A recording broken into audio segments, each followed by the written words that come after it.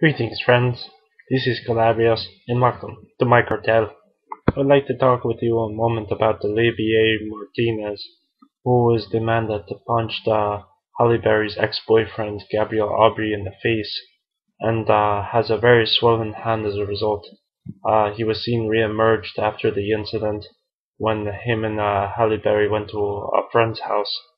Uh, basically, Olivier had to go to the hospital after the uh, fight and uh, Gabriel Aubry uh, had a $20,000 bail and is uh, scheduled to appear in court on uh, December the 13th about the incident uh, when they uh, dropped off when he dropped off the four-year-old daughter over to the Berry household.